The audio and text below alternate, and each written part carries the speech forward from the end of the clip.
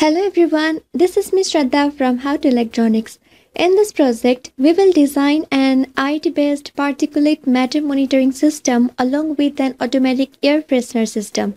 The device can monitor and measure the PM2.5 and PM10 concentration in the air. It can also activate the air freshener when the PM level exceeds the danger value. The device can be used in the house, industry, schools, office and around crowded places. Particulate matter refers to microscopic particles of solid or liquid matter suspended in the air. PM10 is particulate matter with 10 micrometer diameter or less and PM2.5 means particulate matter with 2.5 micrometer or less. We proposed an IoT-based system for measuring and controlling air pollution due to PM concentration. The device can be embedded on a small PCB the device when powered on starts measuring the particulate matter concentration in air and displays the real-time value on a 0.96 inch OLED display. The ESP32 also connects to the Wi-Fi network and uploads the data to the web server. Using the local IP address of ESP32, you can get the PM1.0, PM2.5 and PM10 value on any web browser. The air quality index value anything above 50 is unhealthy for breathing. So when the pollution level exceeds in air, the fan turns on automatically to blow fresh air. Instead of fan, you can use any other air freshening device like a humidifier that can be connected to the relay. So let's begin with making this great project.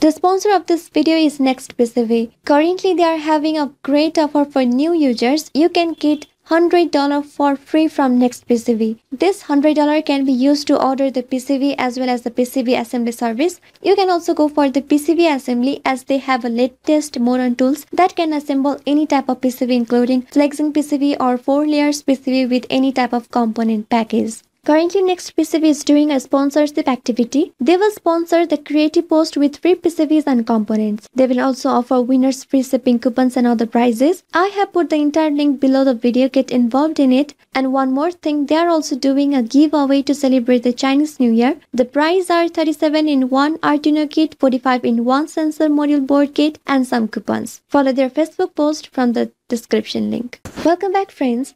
Let's see the components required for this project. The first important component is the PMS5003 sensor which measures particulate matter concentration in air and has 4 pins UART interface. We will then need a 0.96 inch I2C OLED display.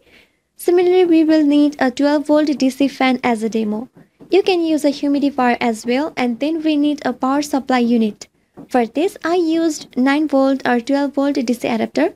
Apart from these components, a long list of other materials is required like ESP32 board, relay, some voltage regulators, diode, resistor, buzzer transistor and some jumper wires. All these components can be easily purchased from Amazon.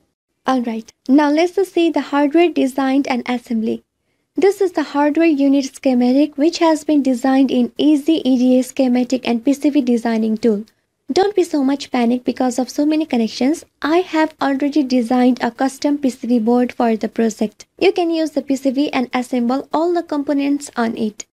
So this is how the board looks after all the components are assembled. The device size is small and compact. The board has two female headers for OLED display and a PMS5003 sensor.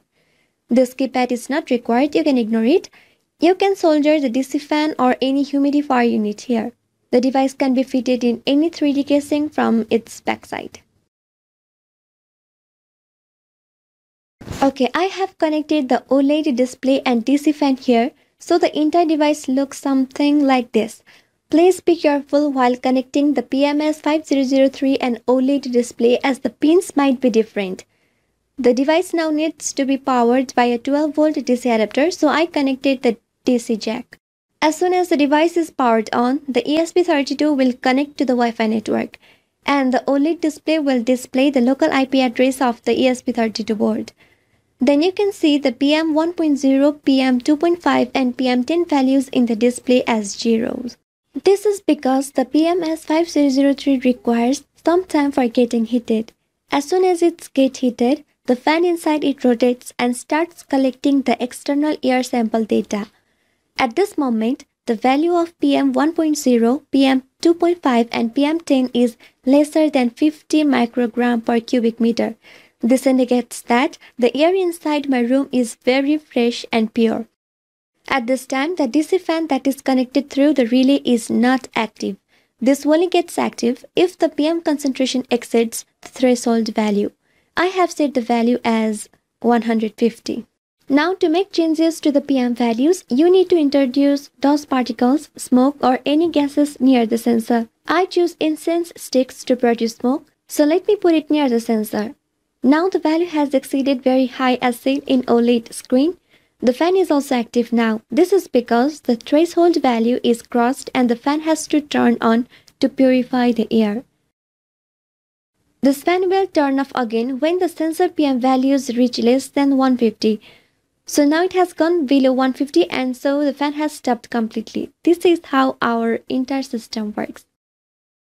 You can now use the IP address and paste it into your web browser of computer or mobile phone. After hitting enter, a page will displayed where you can see PM 1.0, PM 2.5 and PM 10 data.